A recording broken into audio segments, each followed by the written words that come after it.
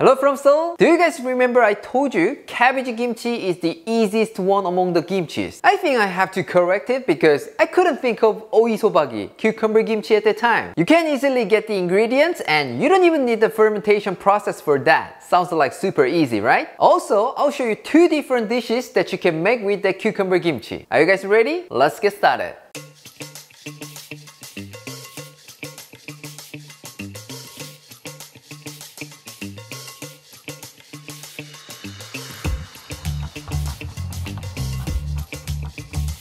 As I already told you, making kimchi is a big deal even to Koreans, so I don't make it at home. I always get one from the supermarket. If I say so, some people might think, how could you do that? You're Korean. Guys, you eat bacon every day, but you don't make your own bacon, do you? Anyways, I often make this because it's not only easy to make, but also tastes really good. It is just perfect for summer because they're so crunchy, light, and flavorful. So if it's your first time making kimchi, I think it's definitely definitely worth a try. You will be needed cucumber, chive, carrot, and onion. So simple, right? Yeah, I'll say you can skip carrot, but if you don't use it, it can be pretty. I've already narrowed down the list of the ingredients, so please, it's not even hard to get it. Let's wash the cucumbers. I'm gonna use 5 and it's about 1 kilogram. In a traditional way, we need to wash it with some kosher salt, like this. This way, all the dirty things will be completely washed off, but make sure to rinse it after this. Otherwise, the salt on the surface surface will hold all the dirty stuff. Get rid of the ends of the cucumbers and cut it into thirds or quarters. You know what? In Korea, there are containers only for kimchi, so we don't need to care about the size, but today I'm gonna use this jar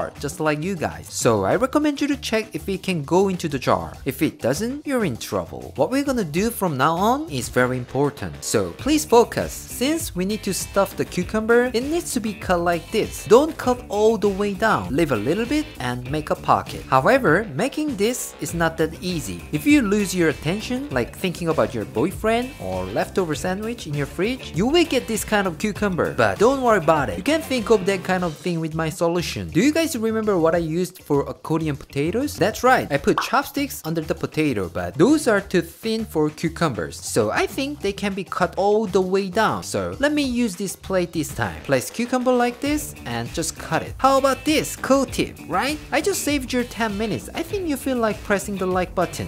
Do it, please. Let's salt the cucumbers. Put 2 tablespoons of kosher salt into 2 thirds of the water and make sure to stir it until it completely melts. Pour it over the cucumbers and mix it well. The reason why I'm doing this is that I heard a few people got extremely salty kimchi in the previous video and I'm guessing they didn't rinse it properly. So I'll show you the easier way this time. This way you can't fail it. How considerate I am. From now on, we need to give them privacy for about 40 minutes. But unfortunately, we need to interrupt them several times. I mean, we need to mix it occasionally so that they get salted well. This time, let's prep the vegetables. As I already told you, we're gonna use only carrot and chive. Of course, you can use green onion, which is your favorite, not mine. Cut carrot into matchsticks. This carrot doesn't affect the taste, but without it, it's like a fancy steak without any garnish. Of course, it tastes super good because it's steak, but the only steak on the plate, it can't appeal to you as much as the one with pretty garnish. Let's cut chive this time. You can cut them into size you prefer, but let me follow the original recipe. Cut them into 1.5 centimeters. It's about your nail size. But as I already told you, it's okay to cut it longer. For information, I love them more because that way I feel like I got two kinds of kimchi with one shot. Cucumber kimchi and chive kimchi. Make sure to flip them over guys, it's really important. This time, let's make flour porridge. Put a half tablespoon of all-purpose flour into a half cup of water and whisk it. Pour it into the pot and boil it at low heat. Don't forget to keep whisking because it's very easy to burn the bottom. The reason why I make this porridge is it helps the fermentation process, but there's no big problem you can skip it because I'm pretty sure you'll finish it off before the fermentation because it's too delicious. Let's blend half of an onion with a little bit of water. For information, it's about 70 grams. Pour it into a bowl and add 5 tablespoons of chili pepper flakes and 1 tablespoon of sugar. If you don't want sugar in your food, you can blend a quarter of an apple with onion. Put 3 tablespoons of fish sauce, 1 tablespoon of minced garlic, half teaspoon of minced ginger, the porridge we made, and mix everything well. Lastly, put the sliced carrot and chive, and mix it again. Now, it's been 40 minutes. Let's drain the water. I recommend you to drain it as possible as you can, but if you need to go somewhere so no time to wait, then you can squeeze it like this, but don't put your anger here if you don't want to see something that could have been cucumber kimchi. We're almost done. All you need to do is putting the stuff in the cucumber pocket. When people do this, 9 out of 10 will run out of stuffing or vice versa. So I recommend you to use a big bowl like me because this way it's easy to control the amount of stuffing. If it happens because you don't have a big bowl like mine, then you may think let's make more stuffing for this, but don't even think about it. If you do that, your cucumber kimchi will get too salty. Let's put this into the jar. For information, when you store kimchi like fermented food, make sure to fill only 70 or 80% of the container and don't completely tighten the lid. Otherwise, you will see the scene of the explosion in your fridge because of the gas. We're gonna let it ferment for 5 to 6 hours at room temperature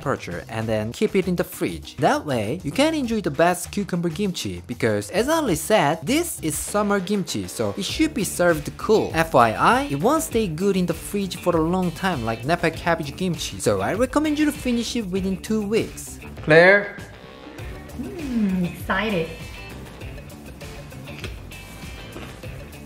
음, 음. 다른 김치랑 다르게 바로 먹을 수 있는 게 좋은 것 같다. 확실히. 음. 오이가 아삭아삭 씹히는 게 여름에 먹기에는 최고인 것 같아. 딱 하나 아쉬운 점은 이제 냉장고에 넣고 차갑게 먹으면 훨씬 더 맛있을 것 같다. It is so good just the way it is, but let me show you two more dishes that you can make with this cucumber kimchi. It's okay, you're welcome. The first one is bibimbap, but it's not the fancy one as you expect. It's more like a simple home meal, but the taste is more than that. We only need three ingredients egg, Korean chili paste, and sesame oil. Very simple, right? Chop the cucumber kimchi. I always cut this in a bowl with scissors because I don't want my cutting board to get kimchi stain. So if you don't have an extra cutting board like mine, please don't. You're gonna lose your precious cutting board. If you did it already, sorry about that. There's nothing much I can do about it. I'm kidding, just use it only for kimchi. Put the chopped cucumbers on the rice. If you add some more chives, that's gonna be more awesome. About the time you finish your kimchi, I'm pretty sure there will be still lots of chives left and you may throw it away. But don't do it. You will regret it forever. You can still make this bibimbap without cucumbers. To be honest, that was the best part whenever I make this kimchi. Put a fried egg on top. I think it has to be sunny side up because this egg yolk will bring the richness to bibimbap. Today, I won't make any special sauce for bibimbap. I'm gonna use just gochujang, Korean chili paste. But do you guys remember my kick?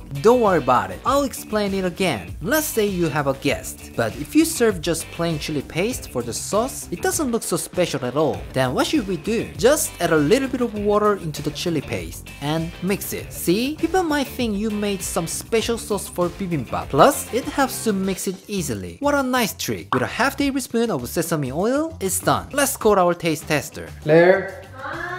오. 뚝딱뚝딱 잘 만들었네. 오. Let me put some gochujang sauce. I can see a lot of cucumbers here. Looks yummy. 음.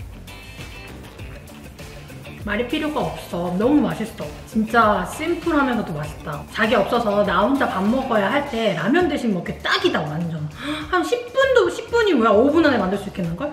It's super easy but very delicious. I like it. This time, let's make naengmyeon, cold noodles with cucumber kimchi. It's been only 3 hours, so I'm not sure if it tastes perfect for naengmyeon, but I'll try it anyway. But I think it's better to try it after 24 hours. Cut the cucumber into bite-sized pieces. How you cut it is not important. It's all up to you. But I prefer to cut it into strips because this is how I get from restaurants. But still, no taste difference. Let's make the broth. Put 600 ml of water into into a bowl. Add one and a half tablespoons of sugar, a half tablespoon of chili pepper flakes, three tablespoons of soy sauce, three and a half tablespoons of vinegar, a half tablespoon of sesame seeds, and mix it well. You can also add some chives here and finish it off with one tablespoon of the juice from the cucumber kimchi. If you are a big fan of spicy food, you can put some chili peppers in it. Now we need to prepare some noodles. This is called somyeon, which is a traditional Korean noodles. This somyeon is perfect for this cold noodles, but I know it's hard to get it if there's no Korean grocery near your place. So today, I'll go with these ramen noodles. You can at least get this ramen, right? Rinse the noodles with cold water. This step will give a better texture to it. Place the noodles in a bowl and cucumber kimchi on top. This is how to plate cold noodles. We could put this kimchi into the broth, but see? This is way prettier. I just used instant noodles, but you can feel the vibe of authentic cold noodles. How about that? Lastly, don't forget to put the boiled egg. This is the beauty of all kinds of naengmyeon. Claire, 음. 먼저 국물 먼저. 음, 음.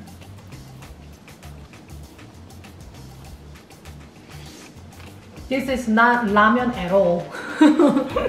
This is totally the version of 냉면, cold noodles. 엄청 여름 별미다. 완전 별미다. 어, 확실히 요즘에 날씨가 더워가지고 입맛도 없고 기운도 없고 그랬는데 이렇게 좀 새콤하고 시원한 음식 먹으니까 기운이 좀 차려진다. Believe it or not, I didn't have much appetite these days because of hot weather. 난 소면보다는 라면 사용한 게 훨씬 나은 것 같아. 라면으로 하니까 탱글탱글하게 살아있네. I love the texture.